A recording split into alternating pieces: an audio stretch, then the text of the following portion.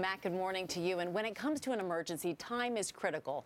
The Autism Fire Rescue Program has educated over 15,000 first responders in how to handle people with autism.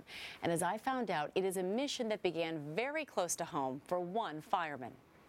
And Bill gave us some great advice. If you have anyone in your home living with autism or any circumstance that requires special attention, you can go to your local fire department and tell them. It's important for first responders to have as much information as possible when heading into an otherwise complicated situation. But what a group of heroes on so many Truly. levels. What a great story. It really well was. done, Amy. So important, the message Great that they're sharing. Thank you so much. Still ahead, answers to your most pressing diet dilemmas. At first, your local news.